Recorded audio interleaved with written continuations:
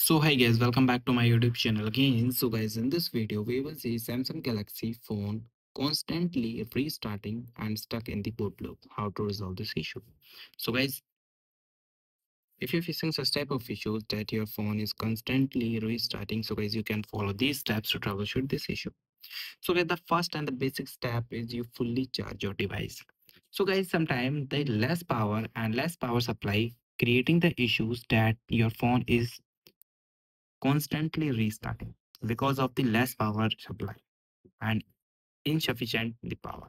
So guys try to full charge your tab even more than uh, uh, sorry your phone more than 50 percent and then check the issue is solved if not then guys you try to force restart your device. So guys for force restart your device you simply press the volume down button and the power button to break the loop. So just press no need to press any physical button just only pressing simply. Okay? So just turn it off. After wait for few seconds okay? Guys after force restart guys you try to clear your ram. Sometimes we are create we are uh, opening lot of the application and they are removed from the recent but they are not delete from the backend so guys for this simply open your settings.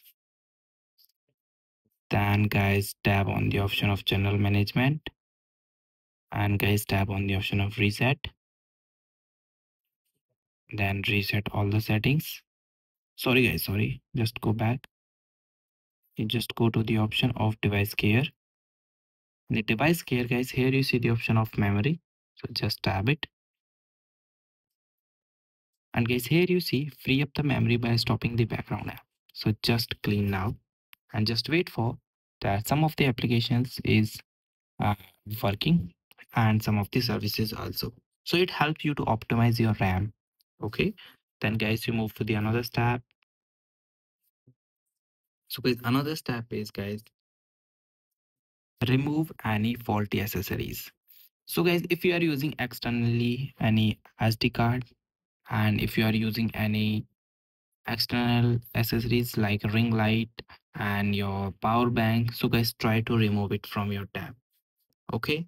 And make sure guys you are providing the proper power supply to your phone during the charging because the less power supply and the insufficient power supply creating such type of issues okay?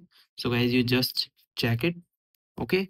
After that guys you try to contact with the support team. Because Mhm. guys uh, sometimes the problem is not related to the software then maybe it is hardware problem. So it's time to contact with the support team. For contacting you use the same device. Otherwise you take the another device and simply tap on the google. And here you simply search the samsung support. Then guys here you go to the option of product help and support.